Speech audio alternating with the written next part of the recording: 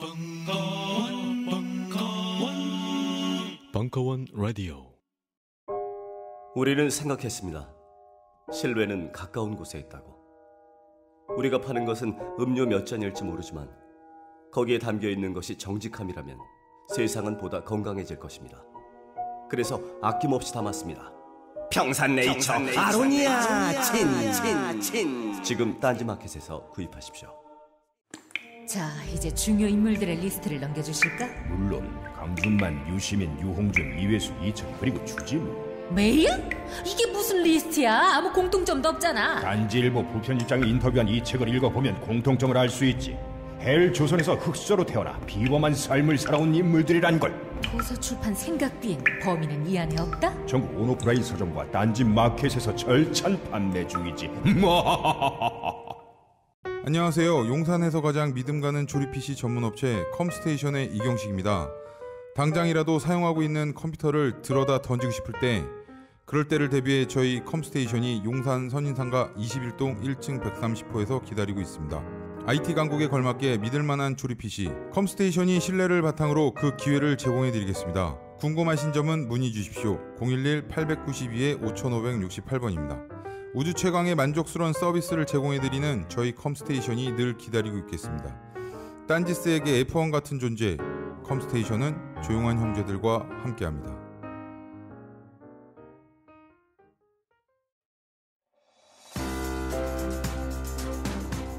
고미숙 특강 공부의 목적 일부 2016년 4월 18일 강연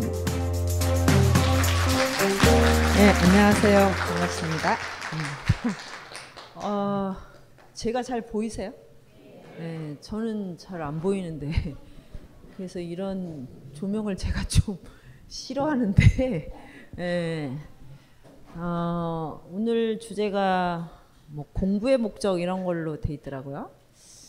음, 사실 뭐 당군 일에 이렇게 공부를 많이 하는 시대가 없죠. 어, 전 국민이 다 예, 공부를 해야 되고 또 공부를 가르쳐야 되고 또 학벌이 굉장히 높아졌고 어, 그리고 나서도 이제 끊임없이 뭘 배우도록 이제 예, 요구하는 그런 사회에 살고 있잖아요. 이 정보가 또 넘치고 그리고 끊임없이 우린 정보에 접속을 하잖아요. 그런데 이제 제가 아, 이 공부에 대한 문제에 주목을 하게 된 건 그렇게 많은 공부를 하는데 우리는 왜 우리 삶에 대해서 이렇게 모를까? 어, 그게 첫 번째였어요. 그러니까 현대인들이 굉장히 아프고 괴로운 것 중에 하나가 이제 자기의 욕망을 잘 모르겠다는 거고 어, 어, 욕망과 비전이죠. 어느 무엇을 목표로 살아야 될지를 모르겠다. 이제 이럴 때 길을 잃어버린다고 하는 거잖아요. 그러면 우리가 하는 공부와 학교에서 배운 공부에는 왜 그런 알미 없는가? 이게 그렇게 모든 사람에게 중요하다면 어, 학교에서 가르쳐 주면 되잖아요. 네. 그래서 대학까지 하여튼 그런 걸 열심히 이, 서로 배우고 가르치면 그 대학을 졸업해서 예, 자기가 누구인지 그리고 어떻게 살아야 되는지 나와 세계의 관계가 뭔지를 이렇게 스스로 다 찾아갈 수 있지 않겠습니까? 그렇게 돼야 되지 않나요? 근데 왜 이것이 그렇게 중요한데 안 할까요? 그 여전히 우리가 교육 안에서 이런 시스템 안에서 배운다고 할 때는 그 오로지 삶이 생략된 어떤 지식이냐는 거예요. 예, 이게 참 황당합니다. 어, 그리고 이제 제가 동의보감이나 이제 동양의학학을 배우면서 느낀 건 이 삶에 대해서 모르는데 삶의 현장이 몸이거든요. 자신의 몸에 대해서 또 무지하다. 그러면 우리가 이제 내 몸을 갖고 어, 뭔가를 하는 걸 삶이라고 한다면 이 몸과 삶에 대해서 이거를 왜 서로 어, 배우고 가르치는 곳은 없는가? 이제 이게 제가 이제 공부에 대해서 좀 음, 뭔가 이야기해야겠다고 생각하는 지점이에요. 어.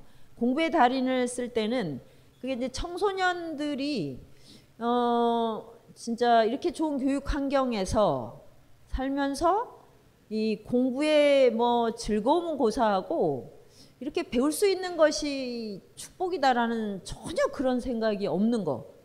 그러면 그 이전에 예, 교육민주화라든가 뭐 많은 사람이 이 교육의 권리를 갖게 하기 위해서 인류가 그동안 해왔던 많은 그런 이제 예, 정말 피나는 노력들이 굉장히 무의미해지는 지점이에요.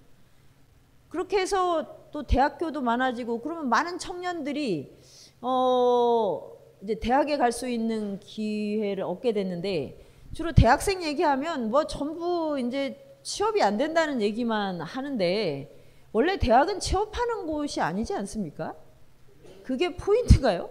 근데 제가 이제 그 대학교 강의를 가면 대학생들의 몸이 너무나 아슬아슬해요. 그 저, 저는 그냥 어, 다 좀비가 됐구나 이렇게 말합니다. 살아있질 않아요. 지금도 제가 여러분이 지금 사람인지 유령인지 잘 모르겠네요. 이 조명 때문에. 예. 어, 그런데 대학생이 몇백 명이 있어도 어떤 이 생명의 기가 안 느껴져요. 그럼 이건 상당히 문제가 있는 거예요. 그럼 뭘 하느라고 도대체 이렇게 자기 길을 다 뺏기고 있는가? 뭐, 뭐, 지금 나라를 구하고 있는 건지, 진짜 뭐 명량해전을 하고 있는 건지, 도대체 어디다 그걸 다 쓰고 있는가? 그럼 전부 다 취업이래요. 근데 취업이 그렇게 많은 에너지를 쓰는 건지도 저는 좀 의심스러워요. 그렇게 막 모든 거를 써서 막 이렇게 하면 취업이 되나요? 그리고 그럴 만한 것인가? 그래 결국 취업이 안 되죠. 그러면은 대학생이 이렇게 많고 그렇게 많은 지식을 향유하는데 취업도 안 되고 자기의 생명 에너지는 다 뺏기고 내가 누군지 내가 어떻게 살아야 되는지도 모른 채 20대 대학을 나온다. 오 이거는 너무 이상하지 않습니까? 이 배치 자체. 너무 이상하죠. 왜 이렇게 서로 불행해지기 위해 노력을 해야 됩니까? 서로에게 해로운 일을 이렇게 열심히 할 필요는 없지 않습니까?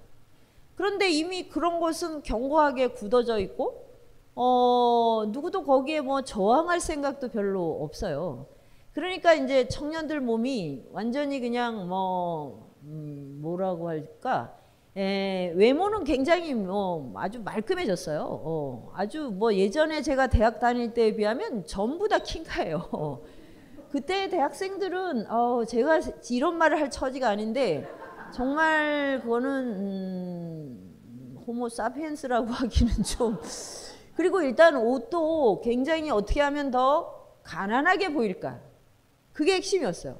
자기 집이 아무리 부자라도 좋은 옷을 입고 오면 창피했어요. 그래서 정말 누가 너 빈티 나나? 이렇게. 예, 그리고 뭐 토큰 하나 갖고 와서 빈대로 그냥 하루를 다 보내고 예, 선배한테 토큰 얻어서 가거나 토큰을 못 얻으면 걸어서 집에 오거나 뭐 아예 안 오거나 이런. 이렇게 했는데 지금 대학생들은 뭐 굉장히 취업도 어렵고 다 뭐 굉장히 어렵다고 하는데 외모가 너무 말끔하고 그 다음에 옷들을 보면 빈부격차를 못 느끼겠어요. 너무 좋은 옷을 입고 있어요, 다. 그런데 뭐냐면 전기가 없어요, 전기가. 한의학에서는 전기신이라고 하는데 이게 빠져 있어요. 쉽게 말하면 얼이 빠져 있어요. 그러면 우리는 도대체 무엇을 위해서 그렇게 민주화 아니면 어, 이, 이 뭐야 경제적 성장 뭐 제도와 시스템 이런 거를 뭐를 한 것인가 이런 질문을 저는 정말로 저 갖고 있습니다 진짜로. 네. 그래서 공부가 무엇인가에 대해서 근본적으로 우리가 다시 생각해야 되는 시점이 아닌가. 이거를 뭐, 아, 취업이 안 되니까 취업을 좀 음, 하는 쪽으로 청년 문제를 해결하고, 그 다음에 대학에 뭐 여러 가지 이제 문제가 있으니까 좀뭐 음, 제도적으로 뭘 지원을 해주고, 이렇게 해결될 문제 같지가 않아요, 저는. 더더욱 어떤 점에선 정기신이 고갈될 것 같아요. 자기가 주도할 수 없는 삶이라는 것은 그처럼 사실 그 삶의 의욕이 떨어지는 게 없어요. 그러니까 딱 죽고 싶다 하는 건 뭐냐면 내가 주도할 현장이 없을 때 그런 겁니다. 예. 돈이 없고 이런 게 아니라 내가 이렇게 예, 돌파하고 뭘 해. 내가 행동해서 어, 나아갈 지점이 없다.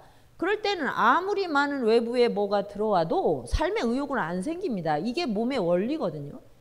근데 우리는 이제 이 몸이나 생명이라는 걸 너무 도외시한 채로 그냥 사회적 개체를 통계적으로 계산해서 거기에 맞춰서 이렇게 에, 어, 잘 제도와 서비스로 잘 이렇게 설정을 하면 그냥 사람들이 다 자유롭고 뭐 능동적 개인이 될 거라고 착각을 하고 있었던 것 같아요.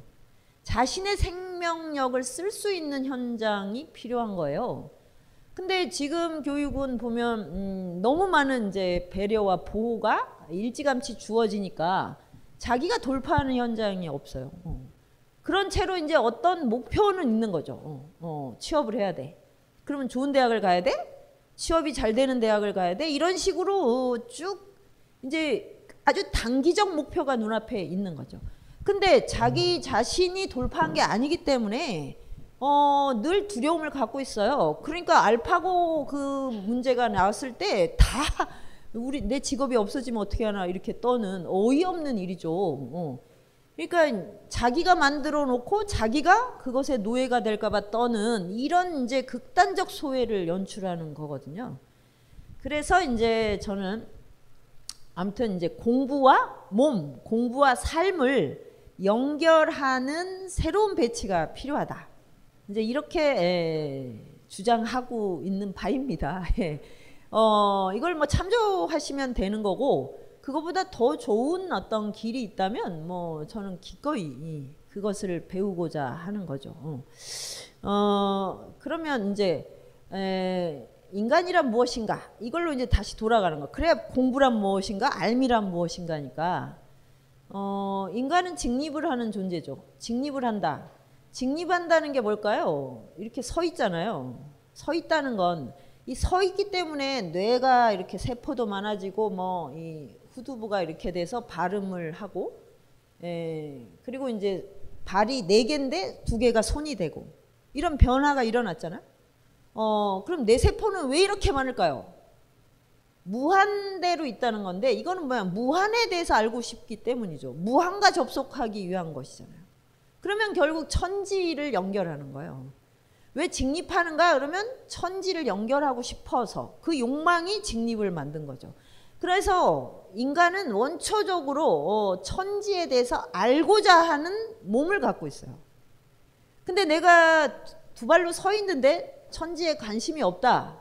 이, 이 천지의 뭐 사회, 역사 이런 게 다 포함이 되는데 그거에 대해서 나는 무관하게 그냥 나 혼자만 살겠다. 이거는 반생명적인 거예요. 일단.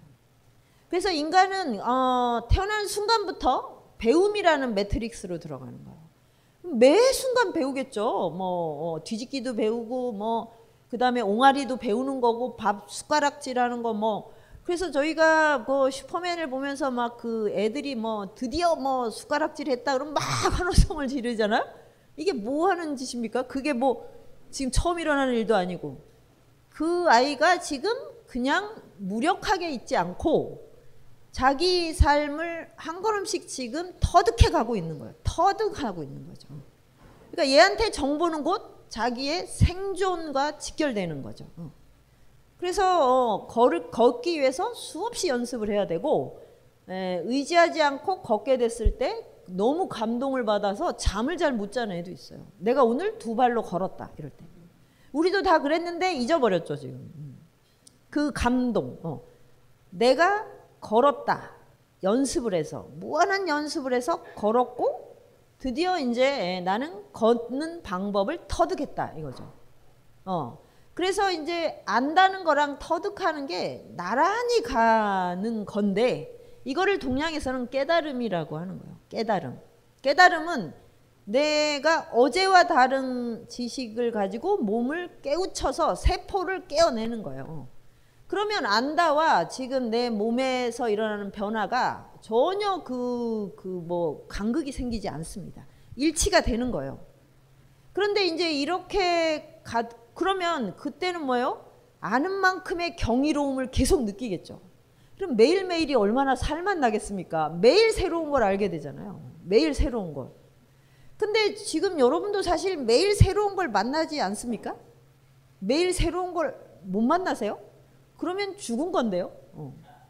매일 만나요. 특히 단 하루도 같은 날씨가 없어요. 그리고 내가 만나는 사람도 어제와 동일한 신체가 아니에요. 나는 당연히 다른 존재고. 그래서 이거를 아는 것만으로 이 차이, 어제와의 차이를 아는 것만으로 몸이 세포가 경이로움을 느껴요. 이게 살맛 나는 거예요. 살맛. 예. 그러니까 애들은 이제 매일매일 매일 새로운 게뭐뭐 이렇게 막 그 아버지 아빠가 이렇게 물통을 막 드는 걸 보면 얼마나 신기하겠습니까? 저거를 어떻게 들 수 있을까? 예. 오 그리고 이제 예, 이것은 먹는 것이다. 여기에 부딪히면 아프다. 이런 거를 매일 몸으로 깨달아야 되잖아요. 그렇지 않으면 이 세상에서 살아갈 수가 없죠. 이제 그래서 아는 것은 연습하는 거. 끝없이 몸으로 연습하고 그것을 터득했을 때 오는 경이로움. 이게 생명의 기본 형식이라는 거죠. 존재 형식이라고 공부라는 거. 네. 그래서 공부를 이렇게 이렇게 쓰는 것이 이, 이건 이제 신용복 선생님 그 담론에서 봤는데 이렇게 쓰는 게 뭐냐면 하늘과 땅을 연결하는 것이 배움이다. 그리고 이게 존재 생명의 예, 존재 형식이다. 음. 그래서 매일 배워서 터득하는 게 있으면 인간은 지옥에 가서도 아주 활발하게 삽니다. 근데 우리가 제일 살기 싫다가 뭐냐면 어제와 동일하다. 애인을 만났는데 새로운 느낌이 전혀 없다. 예, 권태기죠. 그리고 이제 예, 뭐요? 뭐 먹고 마시고 하는 것에서 어, 하나의 새로움을 느낄 수 없다. 그러면 뇌세포도 스탑을 한 거고 다 생명작용이 스탑된 거예요. 그런데 분명히 세상은 늘 변하고 있다는 거죠. 그런데 인간이 동일하다고 느끼는 건 뭐냐면 그 세상과 접속을 하지 않는 거예요. 그러니까 현대인은 그렇게 돼버렸어요.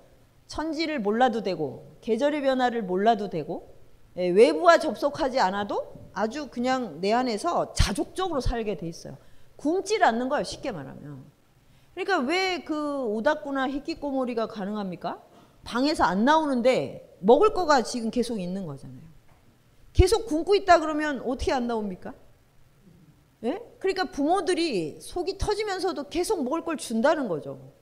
그리고 밤에 몰래 나와서 냉장고에서 뭘 먹어도 내비두는 거잖아요.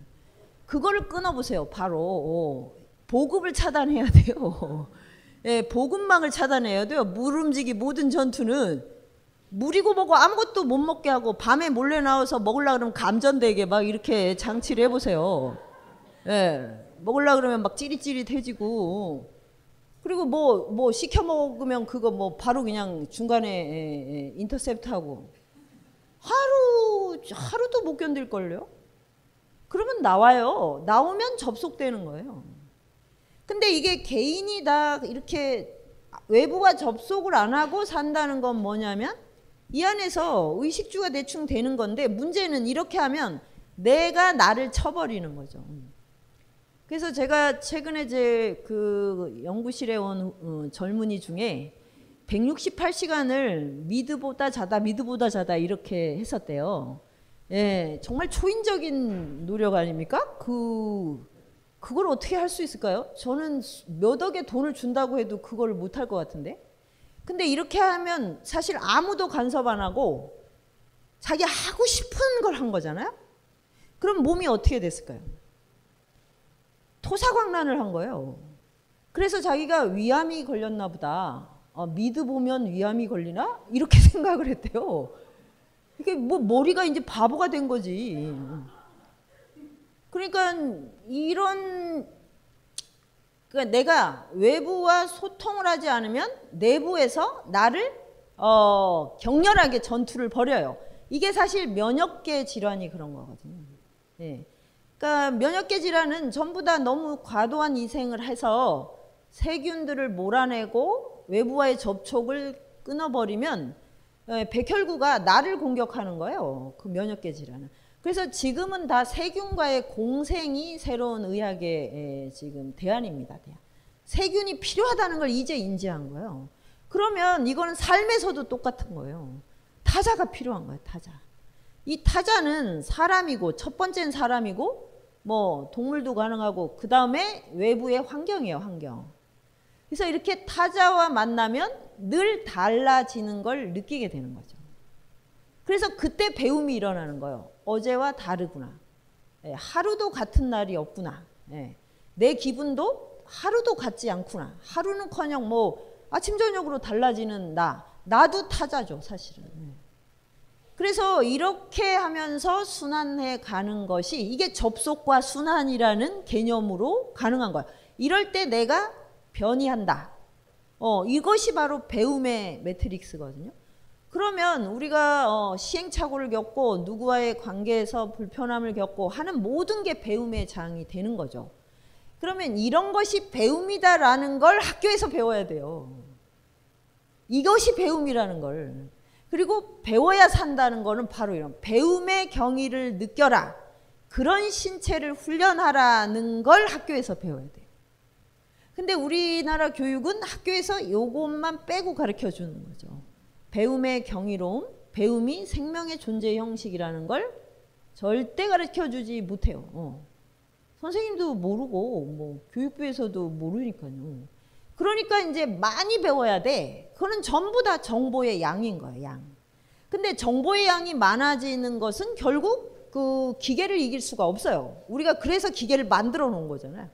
그 인공지능 같은 걸 보고 두려운 건 나의 경쟁자를 만난 거야. 너무너무 유능해. 정보의 양이 많고 양이 많은데 무한의 빠른 속도로 이걸 이동시킬 수 있는 그게 알파고의 deep learning이라고 하는 거 있죠. 그거를 보면 겁을 먹죠. 나는 저런 속도를 가질 수 없어. 근데 인간은 그거를 벗어나려고 기계를 만들었잖아요.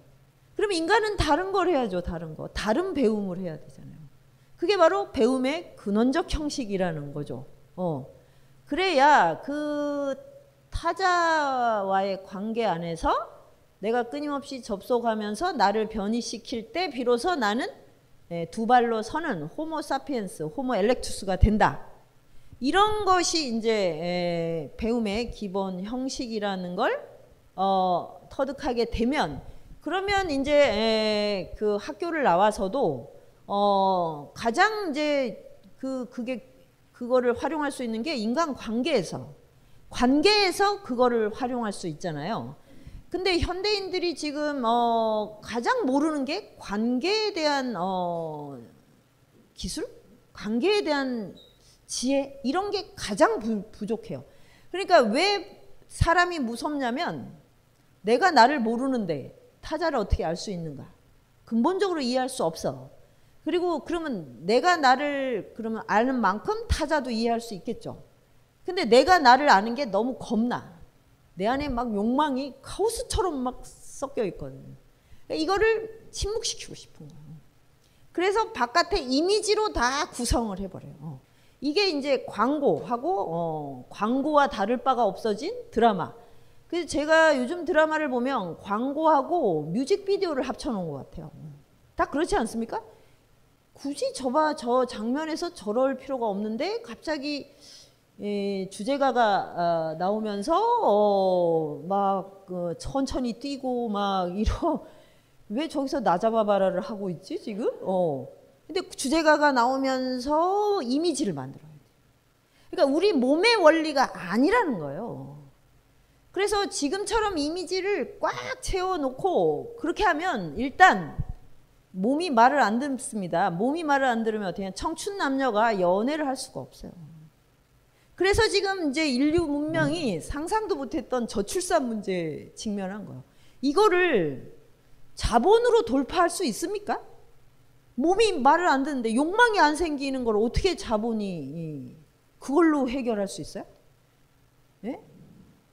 그래서 이게 지금 이제 예, 자본주의가 자연 생명과 소통하지 않은 대가를 혹독하게 저는 앞으로 치르게 될 것 같아요. 그거는 생태계 붕괴의 문제가 아니고 내 안에 있는 자연, 네, 특히 청년들의 에로스가 완전 고갈된 거예요. 그래서 뭐 연애 포기 뭐 포기 이렇게 하는 게 뭐 취업이 안 되고 뭐 이러는데 원래 연애는 취업 안 될 때, 돈 없을 때 하는 거예요. 음. 그래서 가난한 곳일수록 그 애가 막 생깁니다. 예. 법적인 거와 상관없이 막 생깁니다. 예. 이러다가 보면 아마 인류가 그 우리가 지금 가장 가난하다고 하는 근대화가 안 된 곳 아프리카 거기 인구가 전 세계의 예, 인구를 예, 수혈해 줘서 아마 대부분의 다수의 인구들이 그, 그 세대가 되겠죠. 사실 뉴욕 같은 도시도 이주민이 없으면 네, 이 히스패닉이 없으면 인구 유지가 안 돼요. 백인의 숫자가 점점 줄어들고 있어요. 우리나라도 그렇게 돼요. 그래서 아 정말 절묘하다. 그러면 결국 뭐예요? 지금 우리가 가난하고 덜 떨어졌다고 하는 그곳의 후손들이 전 세계의 부를 누리게 되겠죠. 어, 부유한 나라에선 더 이상 어, 젊은이들이 애를 낳으려고 안 한다니까요. 그러니까 이거는 경제가 어려운 게 아니라 너무나 물질적 문명이 과도해지고 거기에 의존한 대가라고 봐야 돼요. 저같이 이제 이 동양 의역학을 연구한 사람의 입장에서 보면 그러니까 어 그래서 이제 그걸 열심히 제가 분석을 합니다. 왜 이 대학생들이 이렇게 어리 빠졌을까? 그래서 대학교 그 강의를 갈 때는 정말 막 비장한 태도로 가야 됩니다. 예. 예, 어떤 일이 있어도 감정의 동요를 겪으면 안 된다. 예, 이 정말 그 상황이 아무리 뭐라고 할까 이 썰렁하고 냉기가 돌아도 어, 절대 버럭 화를 내면 안 된다. 그런데도 이제 그 뭐야 한이한 시간 두 시간에서 질문하라 그랬는데 정말 그 눈을 떴는지 감았는지 알 수 없는 태도로 이러고 있으면 진짜 울컥해요. 이게 청년인가 정말 뭘 뭐 불평이라도 해야 될 거 아니에요. 근데 그래서 이제 막 이제 뭐 니네들은 다 좀비냐 이러는데 가만히 있어요. 음. 그래서 어, 이건 보통 경지가 아닌데 막 어. 그런데 진짜 딱 하나 어 이러면 이제 정력이 고갈돼서 더 이상 사랑할 수 없어. 그러면 반응이 좀 와요. 신장이 완전히 망가진 거예요. 신장이 정력을 주관하는데 신장이 이게 거의 여기서 정이 생성이 안 되는 거예요. 왜냐하면 전부 다 그 기름을 일종의 기름이거든요. 다 이미지에다가 다, 다 거기다가 투사한 거예요. 그 우리가 질량 불변의 법칙이 있기 때문에 에너지 불변의 법칙도 있어서 있는 걸 갖고 이렇게 이렇게 하지 내가 요거를 많이 누리고 저것도 누리고 물질적인 것도 많이 누리고 정신적인 것도 많이 누릴 수는 없어요. 하나는 뭘 포기해. 그래서 이게 조절이 중요한 건데 그러면 모든 이미지 이미지를 만드는데 자기 정 그이 이, 이, 뭐야 이 기름을 다 쓴단 말이에요.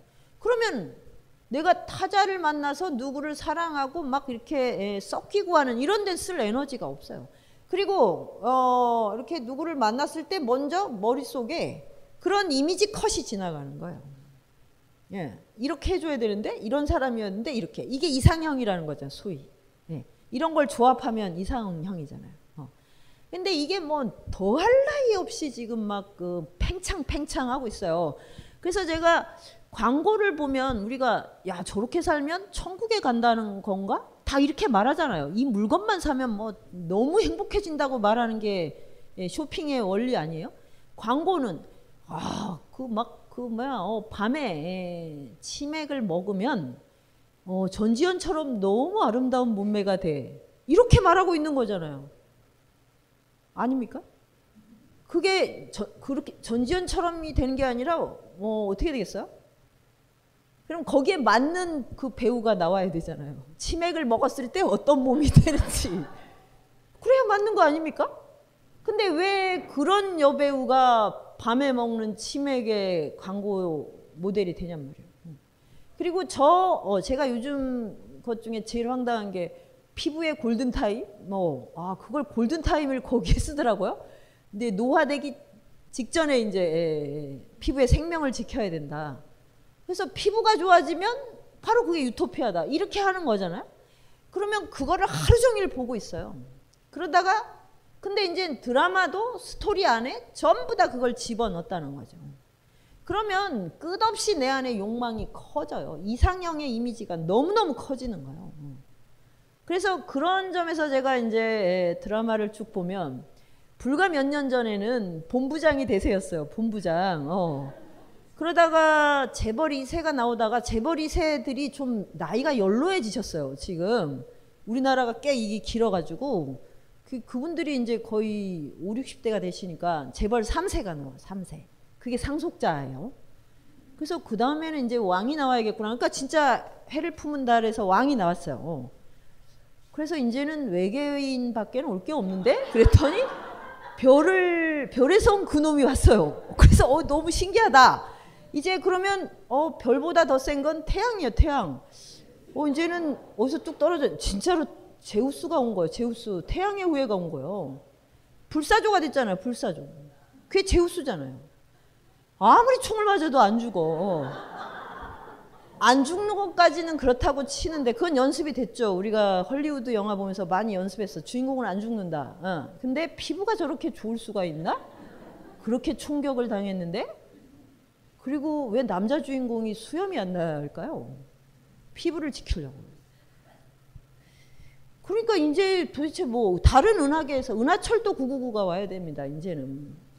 그러니까 이런 이미지로 여성들이 예, 그리고 모든 멜로는 다 남자 주인공이 스타가 되지 여주인공이 아니에요. 네, 겨울연가 이, 이후. 그러면 여성이 원하는 남성형이거든요.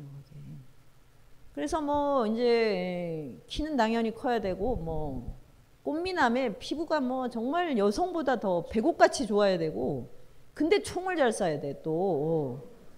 그리고 절대 죽어서는 안 되고. 어. 그리고 너무 유머러스해야 되고 제, 제가 제일 비현실적이라고 생각한 게 저거요.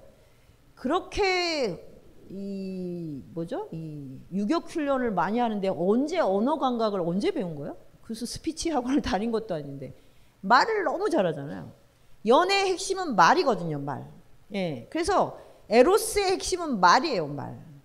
근데 그렇게 오글거리는 말이 아니고 인생에 아주 질펀한 지혜가 담긴 말을 할 수 있으면 많은 여성의 사랑을 받을 수 있어요. 어. 인류의 카사노바는 다 입만 사른 사람들이에요. 어. 외모가 아니에요. 나이도 많고 키도 작고 뭐 못생기고 이런 사람들이에요. 그런데 어떤 여성에게도 다 행복하다고 느껴지고 이 사람이 나만을 배려한다고 확고하게 믿게 되는 건 그 사람의 말이라고 말.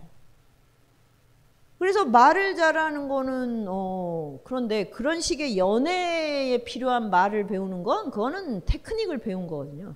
그거는 가능성이 없는데 근데 이런 것들을 이제 이렇게 만든 이제 그걸로 어 상품이 되죠. 어마어마한 돈이 거기 딸려 가잖아요. 그러면 여성들은 이제 남자친구한테 그 모든 걸 원하게 돼 있어요. 그러면 여성은 평생 한 명의 남자도 만날 수 없어요. 그래서 지금 제가 제일 걱정하는 건 아, 저는 이미 이제 그 시절을 통과해서 정말 다행이라고 생각해요.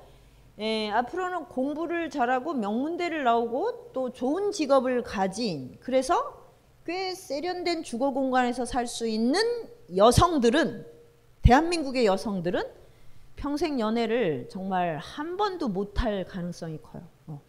굉장히 이 성직자들보다 더 성스럽게 살 수 있어요. 순결한 독거노인이 될 수 있어요. 진짜입니다. 이거는 굉장히 중요한 정치경제학적 문제예요. 그 여성들이 갖고 있는 성에 대한 의식은 너무나 견고해요. 그리고 내가 이렇게 노력하고 이렇게 괜찮기 때문에 남성은 훨씬 그거보다 우월해야 된다고 믿어요. 근데 그런 남성이 없어요. 그런 아니 그렇게 생긴 사람이 있다고 하면 그런 직업을 가지고 있지 않아요. 이미 직업 안에서 남성들이 그런 직업에선 여성한테 졌거든요. 어. 그러면 일단 그리고 그 바닥에 가면 남자 구경을 할 수가 없어요. 대부분이 여성이에요. 대부분. 그래서 이제 지금 그 그런 여성들이 남성을 만나려면 원양어선을 타는 수밖에 없습니다. 그런데 가야 남성이 있어요. 그러니까 이런 것은 우리가 정치 경제학적으로 중요한 문제입니까? 아닙니까? 이걸 근데 사람 그래서 다 상처가 있어요. 왜? 이 고독과 단절감을 어디다 하소연할 데가 없거든요. 왜냐면 난 사회적으로 루저도 아니야. 어, 어 외모도 훌륭해. 예, 몸매 관리도 철저히 했어. 직업도 아주 그 유능해. 너무 세련됐고 모든 뭐 이거를 문화를 스펙으로 다 가지고 있어. 그런데 이거를 알아주고 교감해주는 음, 남자가 없어. 그런데 그런 사람이 다수다. 그 사회가 과연 어, 소통이 될까요?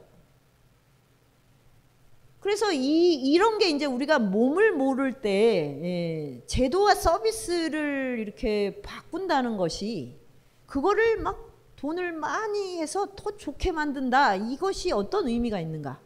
이제 제가 그래서 이제 뭔가 우주의 정치 경제학까지 이제 연구를 하게 된 거고요. 그러니까 여기에서 그럼 많이 배웠다는 것이 지금 내 삶에 별 유용함이 없고 딱 직업과 합해, 노동과 합해까지만 보장해 주는 거예요. 그것도 평생 보장해 주진 않죠. 왜? 너무 유동성이 커질 거기 때문에 어느 직업도 내가 이게 10년은커녕 5년도 보장하기 어려워요. 앞으로는 이런 유동성의 바다를 헤쳐가야 됩니다. 그래서 그러면 그 좋은 직업을 향해서 했던 나의 모든 공부와 지식은 그것이 사라지는 순간 아무짝에도 쓸모가 없어져요.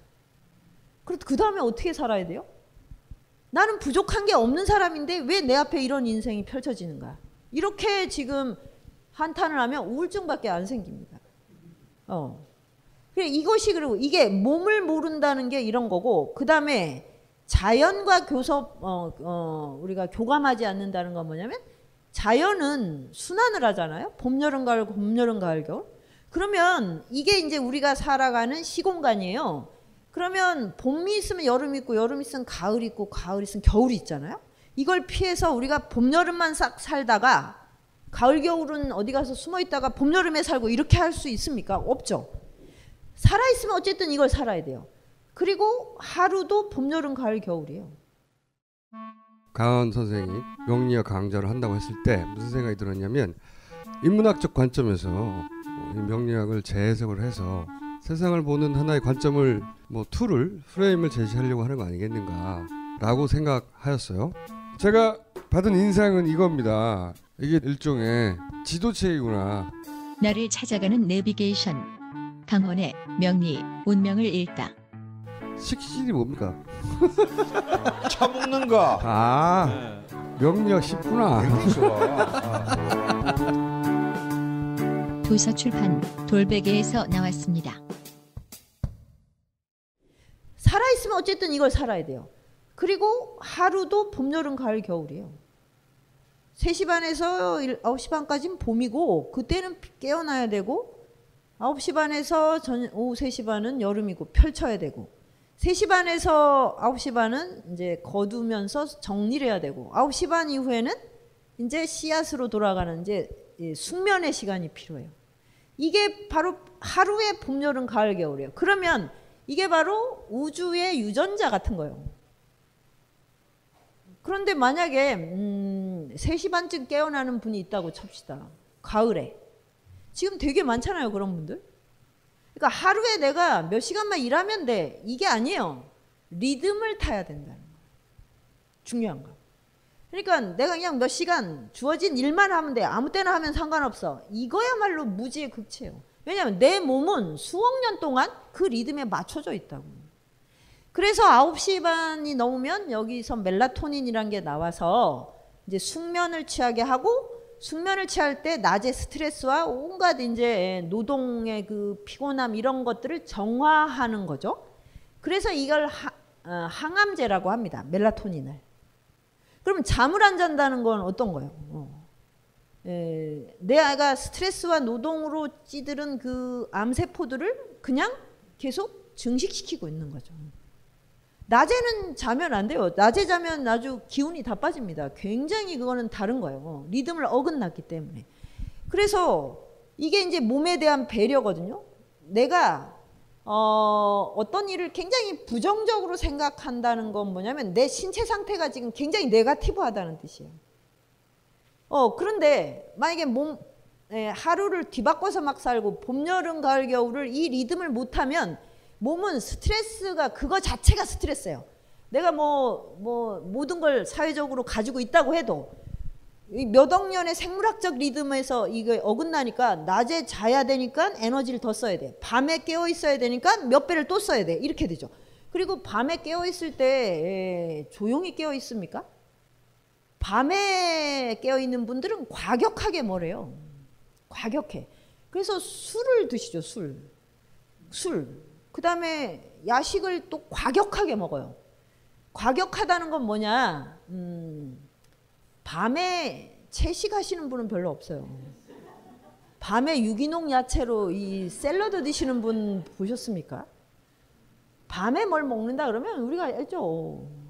기름에 튀겨진 육식 중에 제일 저열한 거. 그래서 뭐 이제 가장 많은 희생양이 뭐예요? 닭하고 돼지죠, 돼지. 닭이 뭐 수억 마리가 매년 희생당하는데 그래서 여기는 대한민국은 치맥 공화국이고 어, 닭들의 홀로코스트가 일어나는 곳이에요. 대학살이 벌어지는. 언젠가 이제 닭들의 아주 혹독한 이제 저주를 받게 됩니다. 예. 머리가 다 닭이 되는 거죠. 닭머리가. 그게 저주인데 그거를 우리가 뭐 닭백숙이나 예, 닭을 가지고 삼계탕을 먹지 않죠. 밤에. 보양식을 먹지 않는다고. 그러니까 이런 걸 먹어야 깨어 있는 거예요. 불 지르는 거죠. 그래서 이제 야동, 게임, 뭐 쇼핑 일을 해도 굉장히 과격하게 해요. 영상 편집 같은 거.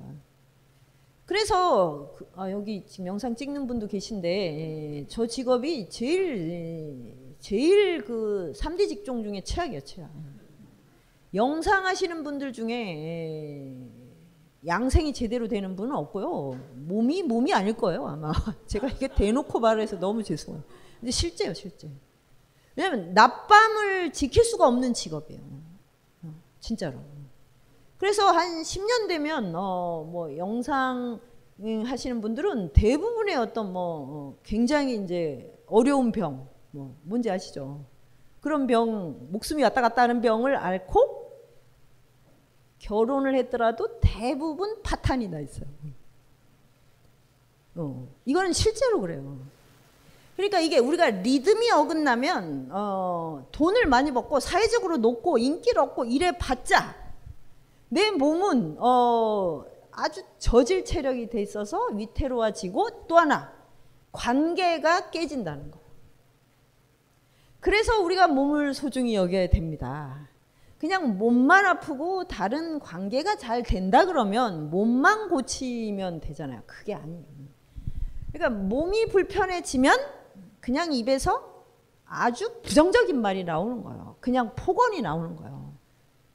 그러니까 내가 내 몸 상태가 어, 수동적이고 부정적이 될 때 타인을 배려할 수 없다는 거죠. 그러니까 이걸 지금 현대인이 너무 리얼하게 보여주고 있어요. 그래서 우리는 뭘 배워야 되냐? 리듬을 타는 걸 배워야 된다. 아, 1년이 봄, 여름, 가을, 겨울. 그래서 우리는 추위를 안 느끼고 더위를 안 느끼는 혜택을 받았기 때문에 더더욱 그 원리에 대한 터득을 해야 돼요. 그래서 하루를 그걸 배우고 나면 아, 내가 하루를 잘 운영해야 되는구나. 그게 바로 이제 하루라는 시간성 안에서 내가 주도권을 갖는 거예요. 그게 아니면 노동에 따라가고 화폐를 따라가게 돼 있어요. 이게 자본의 노예가 되는 거 아닙니까? 이게 자본의 노예예요. 생명보다 그게 더 중요한 거예요. 그러면 대부분 어떻게 하냐면 낮에는 일하지 않고 밤에 일을 하고 밤에 아주 자기에게 해로운 음식을 막 그냥 집어넣게 된다. 이렇게 하니까 결국 어떻게 되냐면 수많은 우리가 전염병을 그렇게 많이 퇴치하고 나서 지금 너무너무 정체불명의 병들을 지금 겪고 있잖아요. 병이 줄었어요.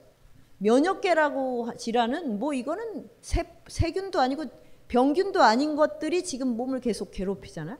그리고 더 중요한 건 에, 몸이 멀쩡해도 타인을 너무너무 두려워하는 신체가 됐다는 거죠. 그래서 두려워하면서 분노를 갖고 있어요. 두려워하면서. 그러니까 이제 이게 자기를 미워하거나 타인에게 폭발하거나 그래서 이제 아무도 보지 않는 그 인터넷 공간 안에서 막 악플을 달거나 막 누군가를 스토킹하거나 이런 식 나를 노출 안 하면 막 과격하게 해요. 그게 뭐냐면 소통하지 않는 기운은 다 도구로 쌓인다는 거예요. 그래서 그러면 이제 우리가 아, 하루도 이렇게 구성이 되는구나. 그러면 평생도 그렇지 않겠어요? 평생. 그래서 우리가 봄을 청춘이라고 하잖아요. 청춘을 봄이라고 하잖아요. 봄은 봄다워야 되잖아요. 청년들이 얼빠져 있으면 안 되죠. 에로스가 막 흘러 넘쳐야죠. 그게 가장 좋은 때가 언제요? 대학이죠. 대학생이잖아요. 대학교.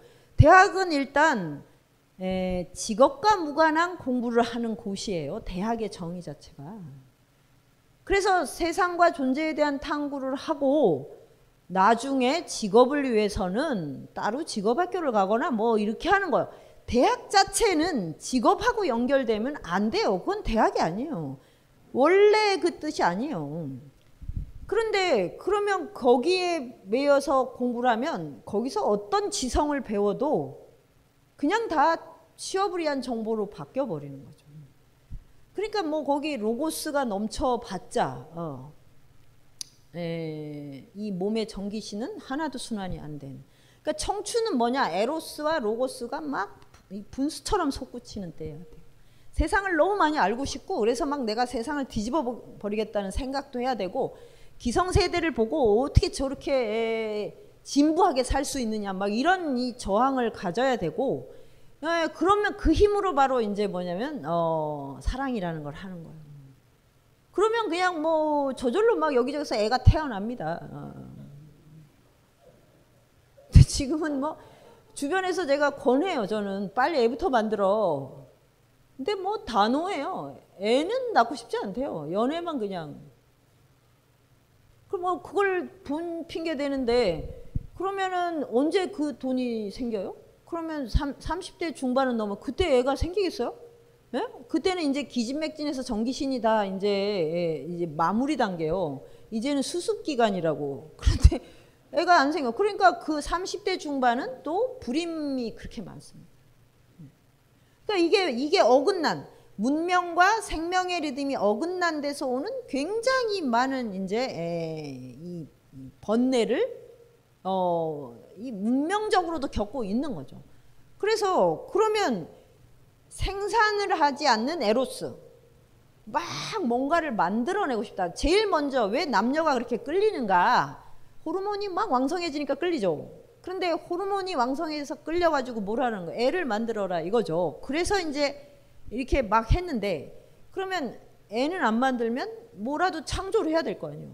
로고스라도 창조해야죠. 새로운 어떤 에, 뭐 성모라를 만들든지 뭐 아니면 뭐 뭐라도 뭘 창조하는 맛이 있어야지 그냥 드라마에서 나오는 걸 그대로 따라하는 거를 그거 그래서 요즘 연애는 주로 연애 필수품이 뭐라고 생각하세요? 요즘 연애할 때 꼭 필요한 장비가 있더라고요. 셀카가 있어야 돼요. 셀카, 셀카봉이. 그래서 시도 때도 없이 찍는 게 연애예요, 연애. 그래서 뭐 먹으러 가면 바로 찍고 어, 올리고. 예, 벚꽃놀이 가면 벚꽃은 안 봐요. 이렇게 찍느라고. 그리고 뭐, 어, 그, 뭐, 이제 모텔에 가서도 찍잖아요, 또. 그래서 나중에 수습하느라고 막 또 정신이 없지 않습니까? 예. 이러니까 상대에게 집중이 되냐고, 이게. 내 몸의 생명력과 내가 만난 이 타자에게 집중을 해야지 에로스가 넘치고 거기서 뭔가 새로운 삶의 형식이 창조되는 게 사랑이라는 건데 이미지에 다 갇혀버렸어요, 다. 성욕까지도 이제 찍는 것을 염두에 두게 됐으니 그러면 지금 이 정기신은 지금 전혀 지금 어, 어, 순환이 안 됩니다. 그러니까 아이를 낳아서 기른다는 건 너무너무 두려운 일인 거예요. 그냥 텔레비전으로 보고 싶은 거예요. 그냥 전 국민의 애들을 삼둥이 보다가 이제는 대박이 보다가 뭐 이렇게 예, 그거 보면서 그냥 대리반조 어, 진짜 그리고 아이를 낳으면 어, 이렇게 되니까 관계가 가장 지금 이제 불통의 상태가 돼요. 나와 소통이 안 되니까 사랑을 하면서도 소통이 안 돼요. 그래서 대부분의 연인들이 가장 자기가 어렵고 괴로운 일은 친구한테 털어놓지 애인한테 털어놓지 않아요. 자기의 약점을 보이기 싫은 거예요. 그런 건 사랑이 아닙니다, 일단. 그래서 나의 이상형, 나의 쾌감을 다 만족시켜주는 어떤 상대를 만났다. 그래서 난 사랑에 빠졌어. 이거는 말이 안 되는 거예요. 왜냐하면 이거는 나에게 쾌감을 주는 대상을 만난 거예요. 그거는 상품을 소비하는 거랑 똑같아요. 그러니까 남 그래서 그거는 주로 기준이 뭐냐면 남들이 봐서 부러워해야 되는 거잖아요. 남들이 부러워해야 돼. 그래서 내가 대, 이렇게 나 여자친구야 이런데 부러워하지 않으면 막 좌절해. 예. 남들도 원하는 상품을 내가 갖고 있어야 된다는 거. 그게 똑같잖아요. 지금 쇼핑하는 방식이랑. 그래서 사랑의 진짜 의미는 뭐냐면 이렇게 제가 지금 잘 안 보이는데 지금 조금씩 보입니다. 지금 익숙해져 가지고 어, 이 이목구비가 좀 보이거든요. 그런데 내가 누군가를 사랑하면 이 어두침침한 곳에서도 그 사람이 강렬하게 느껴져야 돼요. 근데 그게 꽃미남이고 뭐 꽃미녀 여서가 아닌 거죠. 그거는 신체가 나와 접속했을 때만 발광하는 어떤 것이어야 돼요. 그런 것이 있는 거예요.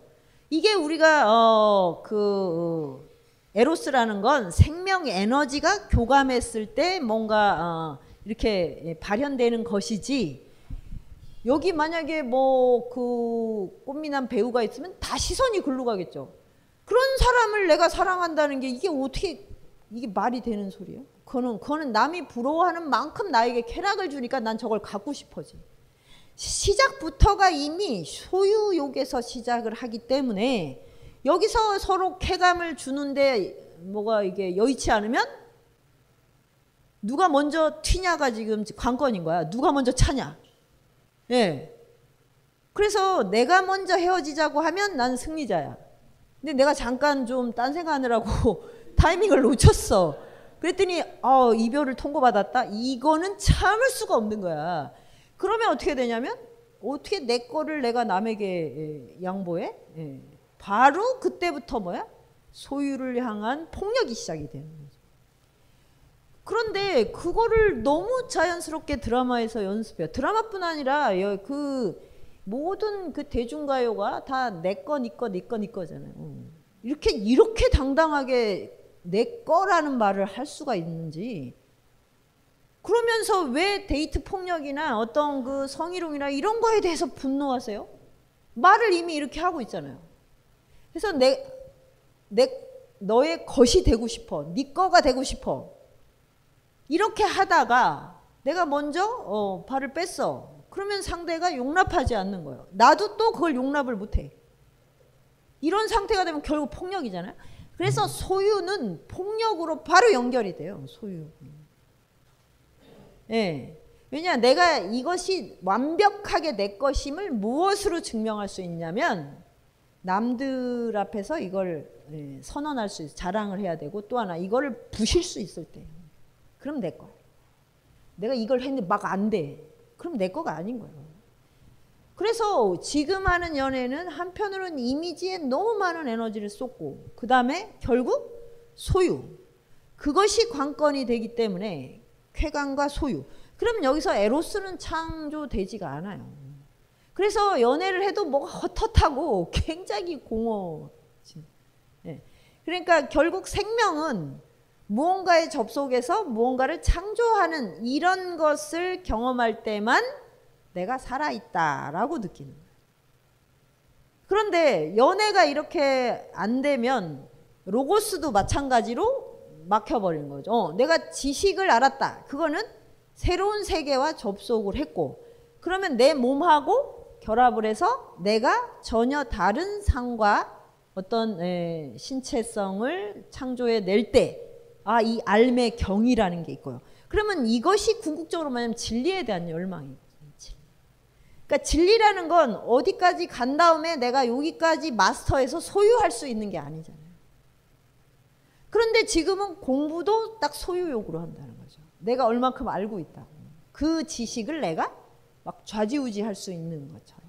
네. 그러면 이것이 주는 건 쾌락이죠. 쾌감은 뭐예요? 아까 얘기했죠? 남들에게 자랑할 때만.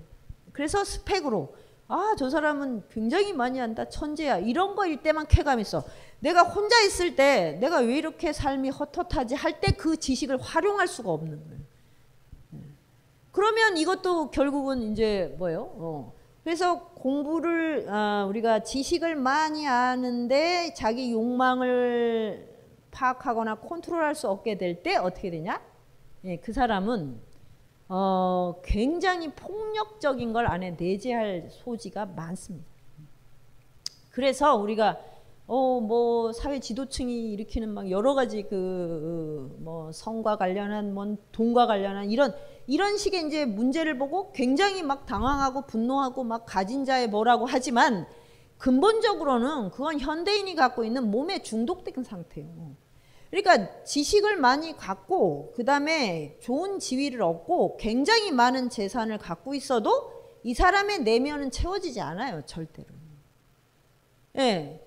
그러면 이, 이 존재는 무엇으로 채워지냐면 접속과 창조에서만 채워지게 돼 있어요. 그게 인간의 삶이기 때문에 그러면 뭐 이제 다시 봄, 여름, 가을로 돌아가면 봄 봄에는 그런 에로스와 로고스의 막 그런 분출이 있어야 되고 중년이 되면 그거를 펼쳐내야 됩니다. 가시적으로.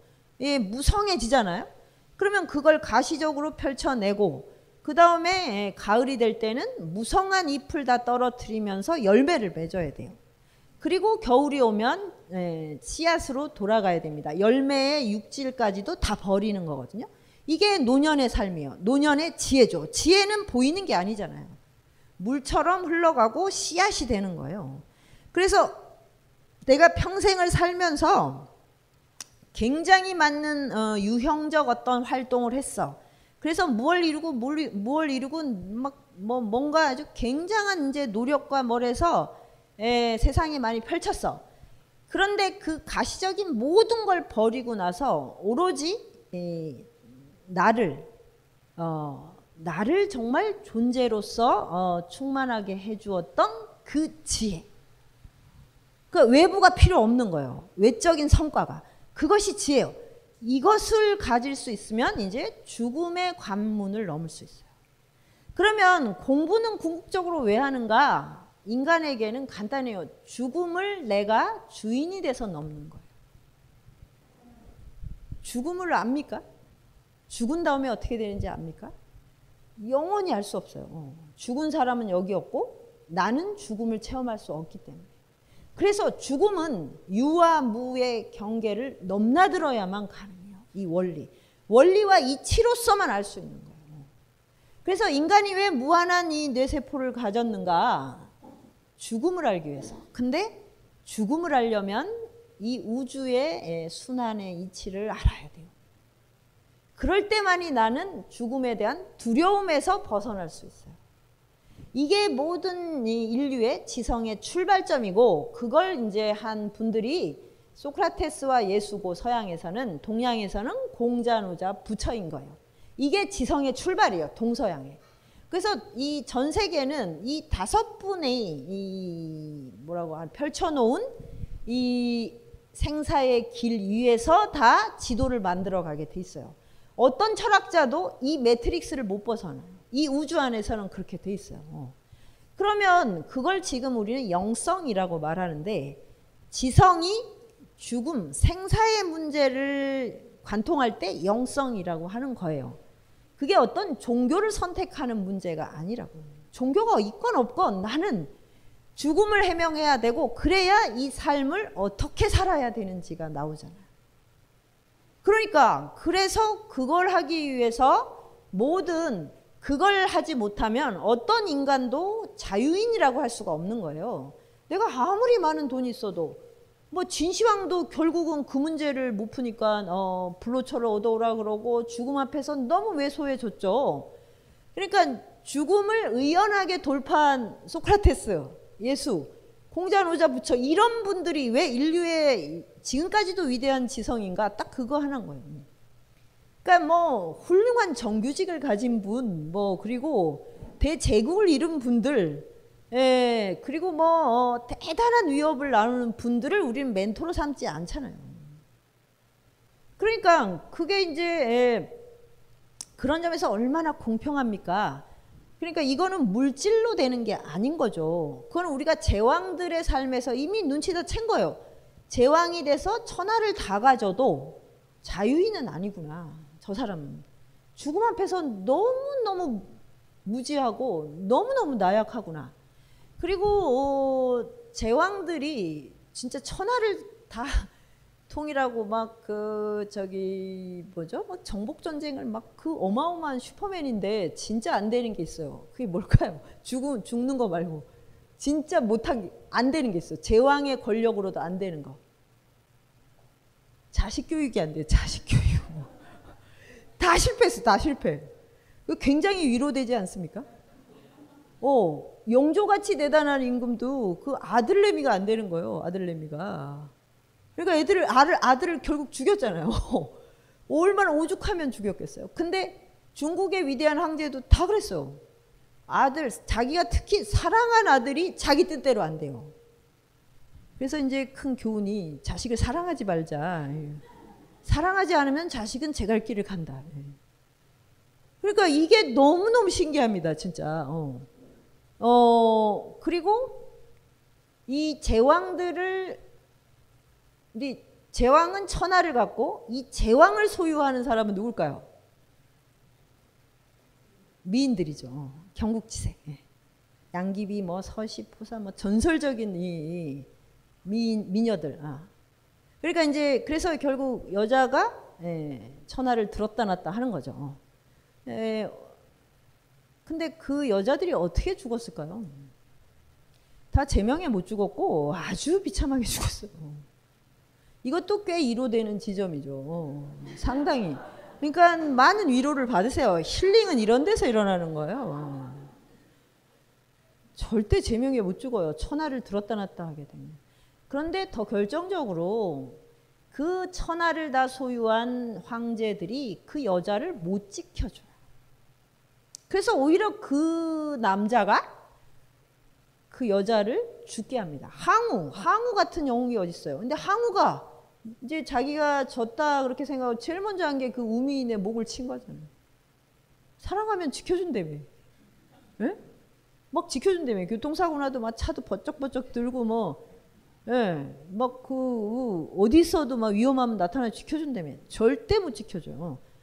그뭐 양귀비도 당현종이 네가 희생되라 그래갖고 그, 그 도망가다가 어, 양귀비를 목에 목매달아 죽게 했잖아요. 그러니까 이런 게 뭐냐면 쾌감으로 쾌감 미인을 소유한다 이게 대단한 어떤 황제의 프라이드죠. 예. 예. 그런데 그것이 주는 건 뭐예요? 음, 쾌감이죠. 와, 너무너무 짜릿해. 이 짜릿함의 대가는 사랑을 창조를 못해요. 새로운 삶을 창조하지 못해요. 그 여자가 쾌감을 느끼는 걸 많이 줄 수는 있어요. 그러다가 결국은 이제 예, 생명을 앗아가는 거죠. 장희빈도 그랬잖아요. 장희빈도. 그러니까 이런 게 천지는 뭐가 지나치게 편향된 걸 아주 싫어한다. 천재도 싫어하고 영웅, 미인. 그래서 이제 동양의 어떤 우주론은 사실 노자나 장자나 다 평범함의 위대함이에요. 어. 미인도 아니고 어, 영웅도 아니고 그리고 천재는 뭐 더더욱 아니고 어.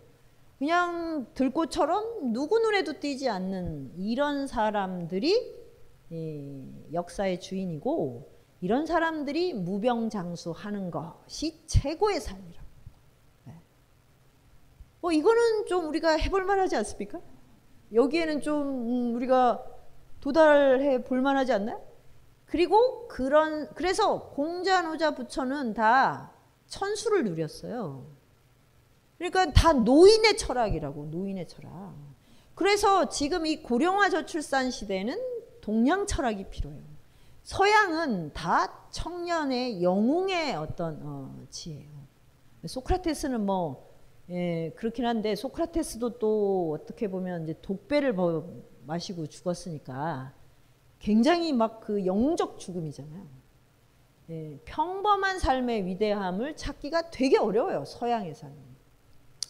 근데 동양은 애초 전제가 그게 아니고 그리고 그래서 이제 천수를 누린다는 것이 이렇게 봄, 여름, 가을, 겨울을 다 겪는다는 것이 얼마나 대단한 걸 보여주는 거죠. 그러니까 어, 노령화가 절대 부끄러운 일이 돼서는 안 되는 거예요. 왜? 인간은 만약에 40대에 뭐 굉장히 멋지게 살다 죽었다 그러면 이 사람은 삶이 그냥 반쪽으로 끝나버린 거예요. 아무리 위대한 무엇을 했다고 해도 이 사람은 가을 겨울을 모르는 존재인 거예요. 피레미 피레미 애송이라고. 네. 그런데 지금 우리 문화가 전부 지금 20대에다가 점점 어려져서 지금 10대로 내려가고 있잖아요. 그때 다 피워버리면 중년을 어떻게 삽니까? 대책이 있나? 네? 아이돌들은 중년을 어떻게 살아야 돼요? 관절염 환자로 살아야 되나? 너무 춤을 춰서 네, 여기저기 뼈마디가 쑤시고 뭐 이렇게 살아야 되나? 아무런 게 없는데 지금 노년에 대한 두려움을 막 지금 어, 유포하고 있잖아요. 그럼 뭐야? 그러면 의학을 발달시키지 말던지 왜 이렇게 장수 인생을 만들어 놓고 이걸 이렇게 하찮게 지금 취급하고 있냐는 거예요. 네. 그게 노동합해 에로스라고 하는 그 기준으로 삶의 척도를 삼기 때문이에요. 그런데 그래봤자 봄, 봄에 진 꽃이고 여름 한철에 불과한 거예요. 겨울을 반드시 알아야 된다. 그래서 공자, 노자, 부처는 뭐 암살당한 것도 아니고 병든 것도 아니고 어떤 그런 식의 뭐 어, 비극적 죽음이 아니라 자기 명에 맞게. 그래서 평범한 죽음인데 그때까지 그냥 어 아무 뭐 그냥 생각 없이 그냥 산 게 아니라 그 80년, 70년의 생을 매 순간을 배움으로 바꾼 존재예요. 그래서 그 뭐 부처는 뭐 말할 것도 없고 공자 15세 학문의 뜻을 두고 서른에 서고 마흔에 불혹을 겪고 이순 이렇게 가는 거 있잖아요. 지천명 우순. 그러니까 공자는 자기 인생을 매 연령별로 뭘 배웠는가, 내 몸이 무엇을 터득했는가를 기준으로 썼잖아요. 그러니까 여러분을 한번 써보세요. 지금 내가 어느 단계에 와 있나. 그럼 아직도 뭐 지우학이 아니라 지우 취업이겠죠. 예, 취업의 뜻을 두고 30대, 40대. 그 다음에는 불혹이 아니라 미혹, 미혹, 미혹. 지금 매번 그냥 광고에 미혹되고 드라마에 미혹되고 그 다음에 이제 50이 되면 이제 더 이상 일자리 찾기도 어렵고 야식, 야동, 야구 이걸로 그냥 낮엔 야구, 뭐 밤에는 야식, 그 다음에 새벽에 야동. 그러니까 내 몸이 어떤 상태로 변하는가, 얼마큼의 자유를 얻는가가 동양학에서는 배움의 유일한 목적이에요. 목적, 다른 현세적 목적은 소용이 없고 설정하지 않아요. 내가 이걸 해서 정승이 되겠어? 아니면 뭐 어, 세계 최고의 무슨 학자가 됐어? 이거는 설정 자체가 의미가 없어요. 왜냐하면 그런 걸 결정하는 건 다 운이 결정합니다. 우리가 이번 선거도 봤지만 선거를 아무도 예측하지 못했잖아요. 예. 야당이 분열했는데 왜 여당이 망할까요? 너무 어, 이게 이게 안 이상해요? 야당이 분열 그래서 저는 제일 아마 야당이 제일 놀라지 않았을까? 어, 이게 뭐지? 어, 전혀 준비를 안 했을 거 아니에요. 그거에 대한 음, 멘트나 멘탈을 세, 준비를 안 했는데, 어, 그 여당 여당은 당연히 절망을 하겠지만, 예, 진짜 그리고 또 표심 표심 하는데 국민들이 뭘 했다는데 국민도 놀랍지 않습니까 지금? 예, 내가 찍긴 했는데 참 이상하다. 어, 광주 시민도 되게 놀랬을 것 같은데 내가 찍긴 했는데 이렇, 게 나올 줄은 몰랐어. 그러니까 우리는 그러니까 이런 걸 운이라고 하는 거예요. 아무도 예측할 수 없고 그리고 저는 80년대를 생각하면 도대체 우리가 그때 전제하고 예측했던 게 지금 맞는 게 뭐 거의 없지 않나? 그때 스마트폰은 상상도 해본 적이 없어요. 도대체. 네. 근데 이런 세상이 왔잖아요. 그러면 앞으로 10년, 20년 뒤에는 어떤 기술혁명과 어떤 인간관계의 재배치가 일어날지 아무도 예측을 못해요. 경제도 예측 못하고 다 못하는데 그래서 그걸 설정을 하면 안 된다고 목적으로. 내 공부의 목적을 그렇게 설정하면 안 된다고요. 그럼 정말 폭삭 망하는 거예요. 폭삭. 근데 지금 우리 교육은 다 그렇게 세팅이 돼 있다는 거예요. 그래서 지금 가장 어떤 점에서 시대를 뒤쳐가는 게 대학인 것 같아요. 대학. 왜냐하면 대학은 되게 일정하게 안전망 안에 있어요. 아무리 어려움이 많이 해도 굉장히 보장된 게 많거든요. 그러니까 안 바꾸는 거예요. 변화에. 근데 모든 청년은 지금 대학을 향해서 가고 있잖아요. 이러니 이 공부가 자기 삶에 이롭겠습니까? 몸을 힘들게 하고 어, 정말 어리 빠지게 이렇게 하는 거죠. 대학생들이 그래서 지금 대학생들이 저는 80년대 그 맨날 체류탄하고 싸우던 학생들보다 더 안 됐어요, 사실은. 그때는 가진 게 하나도 없었고 정말 허구한 날 체류탄 먹으면서 살았어. 운동권이 아니어도. 그런데 얼마나 기세등등했습니까? 그때 대학생들이. 이 강의는 벙커원 어플에서 동영상으로도 시청하실 수 있습니다. 벙커원, 벙커원, 벙커원 라디오.